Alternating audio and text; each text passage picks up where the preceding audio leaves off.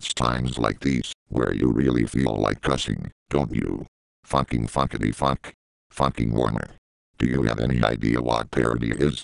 As shitty as Eppaljeck Part 4 was, it served as one of the most important parts of the story. But I only just realized that you fucktards had to disable the fucking audio. The Tuda Bucket movie part 1 was a pile of shit, but the music was so important to the video that you made it seem like a waste of skills. Eppaljeck part 4 is even more skilled. The creator put all his effort into the project, in case you cunty ball sacks fail to understand. Plus, there was a lot of beeping and gibberish among other bullshit overlapping every fucking song.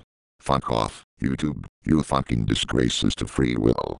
In the meantime, unless YouTube actually restores it, the fourth Eppaljeck video can be watched in the link below. Now fuck off and leave me be, you fucking copyright faggots.